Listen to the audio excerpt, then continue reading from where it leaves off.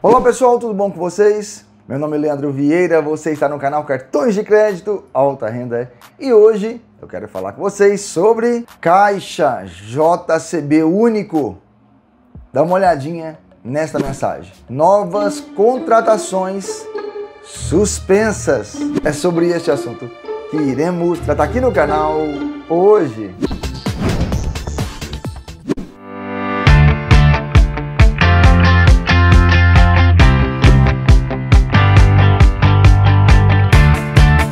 Tarde, Leandro. Boa tarde, toda a família Alta Renda.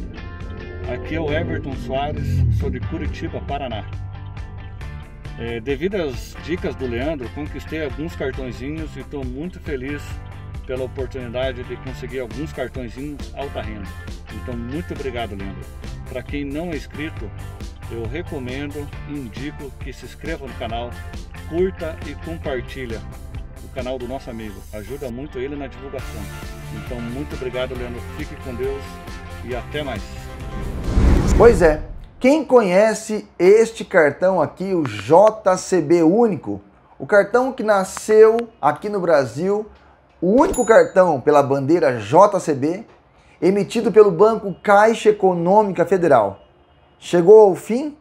Pelo menos no site da JCB e no site da Caixa Diz que sim. Veja na tela do vídeo o que diz JCB. Caixa JCB, encerramos a emissão do cartão Caixa JCB único em 31 de outubro de 2020. Veja a lista dos bancos que emitem o cartão ao redor do mundo, que aí no Brasil não tem ninguém por enquanto que emite este cartão. Falam que o Bradesco, o Santander e o Itaú estariam querendo aí é, comprar essa parceria junto com a JCB, no entanto, nenhuma informação chegou para a gente referente para qual desses três bancos queriam este cartão JCB. Vamos entrar agora no site da Caixa e verificar o que a Caixa diz. Cartão Caixa JCB único, vantagens exclusivas para você que é único. Atenção, aviso de fechamento temporário em algumas das salas VIPs do mundo. Em consideração à saúde dos viajantes e funcionários e alinhamos as recomendações da OMS para prevenção da Covid-19,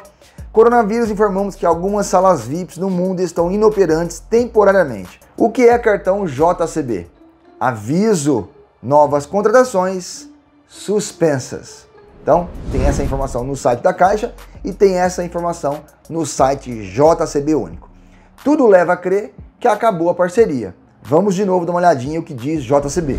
Encerramos a emissão do cartão Caixa JCB Único em 31 de outubro de 2020 encerramos a emissão do cartão, ou seja, acabou, não emitem mais esse cartão pela Caixa Econômica Federal.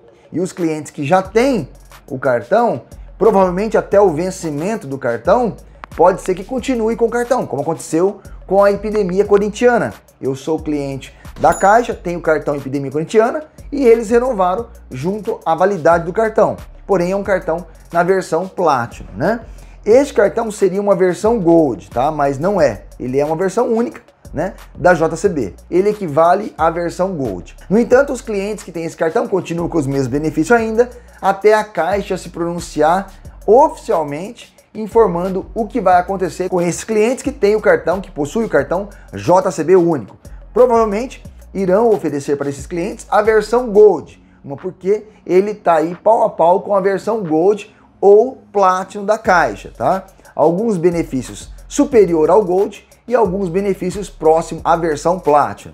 Então, tudo leva a crer que a Caixa poderá oferecer para seus clientes a transformação desse cartão para um Gold ou Platinum, caso assim o cliente deseje, né? Porque a versão desse cartão, logicamente, ele tem uma anuidade maior, né? Então, quando você transforma no Platinum ou no Gold ou até mesmo pelo grafite da Elo, você teria uma anuidade um pouquinho diferenciada, né? Mas vamos conhecer um pouquinho esse cartão para quem tem ele ainda, né? O cartão Caixa JCB único, nossas vantagens aliadas a benefícios da única bandeira internacional japonesa aqui no Brasil, né?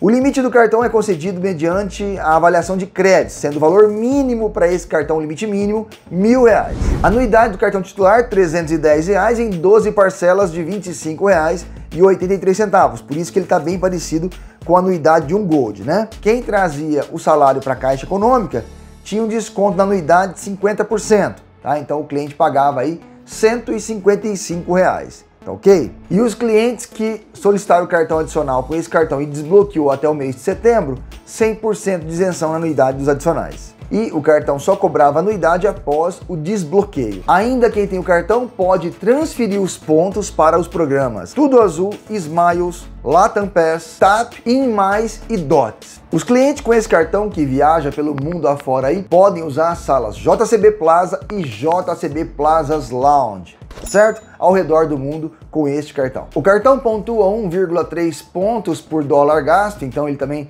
está bem próximo aí da versão Gold para o Platinum para o grafite da Caixa Econômica. Como o cartão foi descontinuado a partir do mês de outubro, então não tem necessidade de eu entrar em mais detalhes do cartão, porque você não vai conseguir pedir esse cartão mais. Somente os clientes que têm esse cartão terá que aguardar agora novas orientações da Caixa para o que vai acontecer para esses clientes que possuem este cartão. No entanto, é uma bandeira que realmente não fez muito sucesso no Brasil. É, eu mesmo vi a dificuldade das pessoas terem essa bandeira aqui é, não é todas as maquininhas de cartões que aceitam a JCB e também a forma de fazer pagamentos, taxas de juros que a bandeira cobra para poder repassar o valor às instituições, então acaba que é, não foi bem aceito pelos brasileiros esta versão. No entanto, como vocês sabem, a comunidade japonesa é muito forte no país é, e eles usam muito esse cartão, mas pelo jeito também não deu muito certo, nem mesmo atingindo essas operações aqui. Talvez a forma que o banco, no caso a Caixa Econômica, atua não foi legal. Uma porque é, a Caixa, você não consegue emitir o cartão virtual, você não consegue emitir o cartão é, digital, teria que ser presencial nas agências. Tentaram emitir um cartão aí pelo correspondente da Caixa, também não deu certo, né? Eles reprovam em massa as pessoas.